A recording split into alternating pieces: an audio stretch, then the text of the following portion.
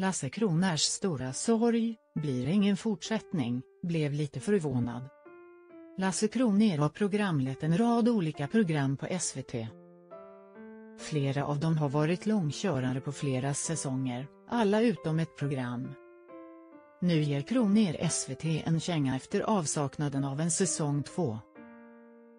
Lasse Kronér, 60, är programledaren som synts i rutan i en rad av olika tv-program, bland annat som programledare i det klassiska musikprogrammet Obido som gått på SVT sedan 2005 och är en riktig folkkär favorit.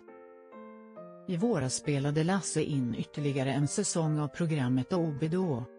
Trots att programmet är en favorit hos svenska folket brukar Lasse själv aldrig kolla på succén. Förstår inte SVTs beslut.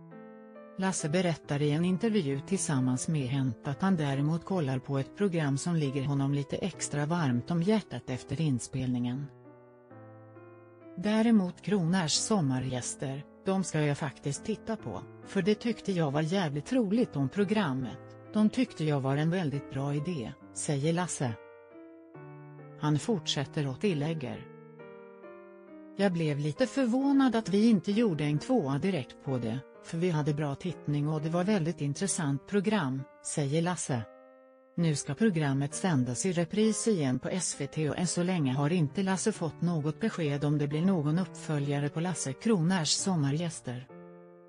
Detta kan ju vara ett sätt från SVT att testa den gång till, för att se intresset om vi då ska göra den sväng till, så kan de vara, de vet inte jag de har jag inte heller hört någonting om, säger Lasse Kroner.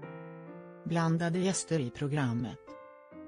Lasse berättar att han håller tummarna för att det blir en uppföljare på programmet Lasse Kronärs sommargäster på SVT i framtiden. Jag gillade att jobba med det, och dessutom är det en fin idé och en annorlunda idé som blev ett bra sommarprogram. Programmet på SVT gick ut på att Lasse bjöd in en artist och till sig och husbandet. Tillsammans så pratade de sedan utifrån de året som artisten fyllde 15 år, med den musiken och händelser som utspelade sig under året de blev 15. Gästerna och programmet skapade mycket nostalgi berättar Lasse, men det blev även ett väldigt varierat program då gästerna kunde erbjuda en stor bredd både med ålder och årtal men även med vilken typ av musik de spelar.